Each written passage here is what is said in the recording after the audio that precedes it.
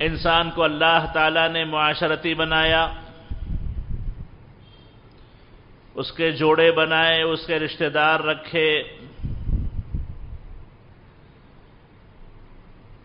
اور اللہ تعالیٰ نے انسانوں کے درمیان معاملات کو مباح قرار دیا۔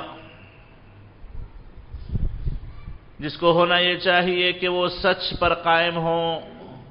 دینداری پر قائم ہوں امانت داری پر قائم ہوں خیر خواہی پر قائم ہوں۔ انسان ہونے کے ناطے کبھی کچھ اونچ نیچ ہو جائے،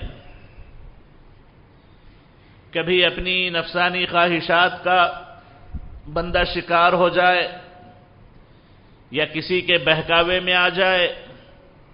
یا کوئی غلط کام کرنے لگے یا کوئی اونچ نیچ ہو جائے، تو ایسے حالات میں ایک کو دوسرے پر یقین کروانے کے لیے، اپنی بات کو منوانے کے لیے، یا پھر کسی مسئلے میں اختلاف کی بنیاد پر اپنی بات کو سچ کر دکھانے کے لیے شریعت میں ایک معاملہ جائز قرار دیا گیا۔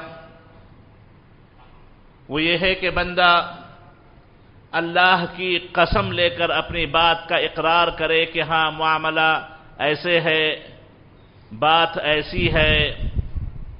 اللہ کی قسم دے کر کے بات کرے۔ اللہ کا نام لے کر کے بات کرے۔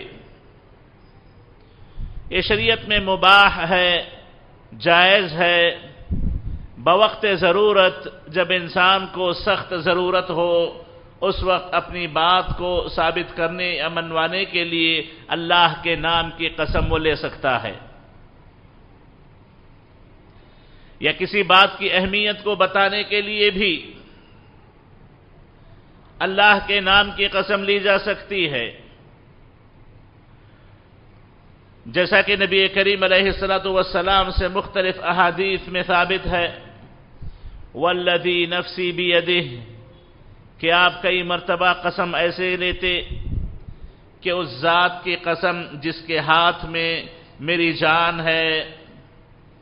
اور کبھی کہتے، واللہ، قسم اللہ کی، لتأمرن بالمعروف ولتنہون عن المنکر، کہ بھلائیوں کا حکم دیتے رہو، برائیوں سے روکتے رہو۔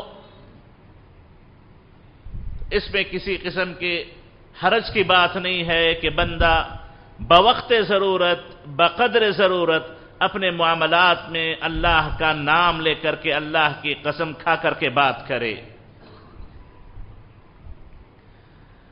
لیکن بلا ضرورت اپنے معاملات میں اللہ کا نام لینا، اللہ کی قسم کھانا یا بکثرت قسم کھانا یا بات بات پر اللہ کی قسم لینا یہ چیزیں اچھی نہیں ہیں، اس سے شریعت نے منع کیا ہے۔